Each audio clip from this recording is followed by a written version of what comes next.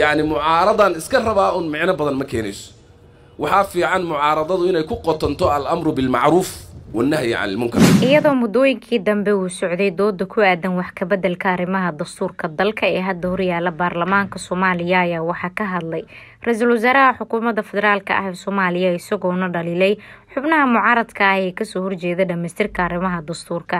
Ra'iisul wasaaraha ayaa sheegay in dhamaystirka dastuurka ku-meel gaarka ah ee horyaala baarlamaanka federaalk ah ee soomaaliya uu yahay. Hortimin wadareed dadka soomaaliyeed oo dhanna u yaalla taasi oo u baahan in layska kaalmaysto ee aan u baahnayn in laysku mucaarado ayuu yidhi. Yacni mucaaradan iska rabaa un micno badan ma keenayso. Waxaa fiican mucaaradadu inay ku qotonto al-amru bilmacruuf wannahyi can ilmunkar oo qofku markuu qaldan yahay la qabtoo la mucaarado marka uu saxsan yahayna in waxaa waaye lagu kaalmeeyo ayaa sidaas diinteennu ina baraysaa sidaasuu dhaqanka saxda ana yahay. Laakiin mucaarad baan iska ahaanayaa haddii xataa salaada loo addimo ninkaas salaadda addimay codkiisu waa sida wuu noocsan yahay wuu kanaysan yahay ma qurux badna.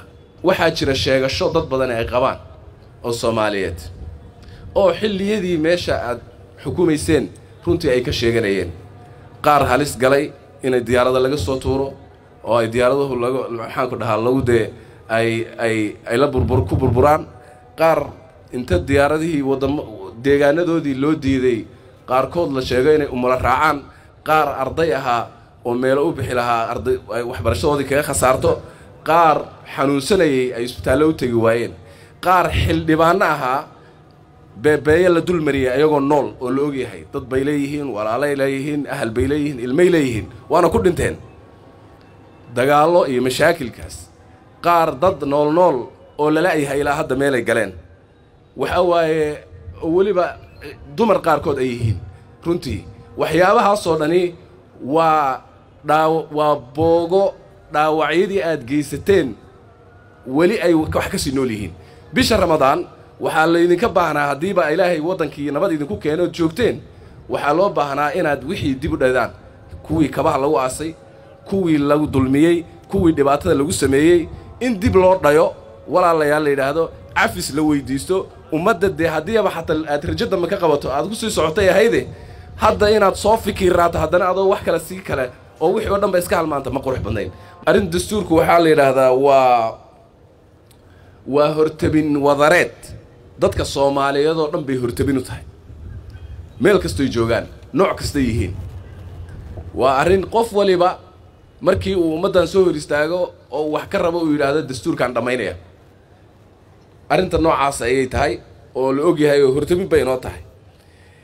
Laakiin waxaa uun mushkiladda jirta waxay tahay waxaa inaga maqan waxaa dhib ina haysta haddaana wixii aniga fulinayn.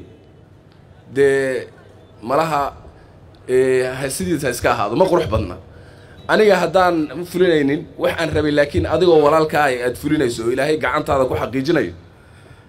Waa min baab watacaawanu cala albiri waataqwa in la ysku kaalmeeyay u baahan tahaye almucaarid min ajli almucaarada looma baahna ra'iisul wasaaraha ayaa sidoo kale sheegay si aan dalka u gelin hubanti-la-aan siyaasadeed in ay muhiim tahay in hadda la sameeyo shuruucdii hagi lahayd doorashooyinka dalka si aan hadha u imaan muran siyaasadeed oo doorashooyinka la xiriiraa berri haddii markii hal sanad ay ay ka hartay ama ka sii yar aan dhahno guddi doorashaa la magacaabayaa sidii dhici jirtay dalkaasi wuxuu geli doonaa hubanti-la-aan siyaasadeed buu geli doonaa.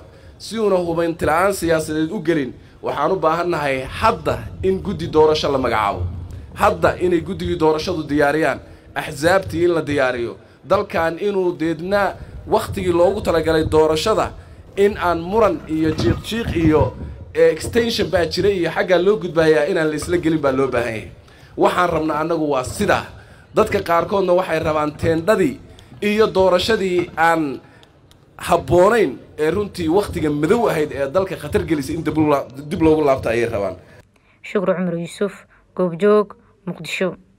Abka dahabalaas oo lagugu sameeyey habkii ugu casrisanaa waxaad hadda hal meel ka wada heli kartaa dhammaan adeegyada dahabshiil gruub adigoo isticmaalaya ablikhethonka dahabalaas oo adeegyo dheeraada lagugu soo kordhiyey ku bixi ku iibso ku kaydso.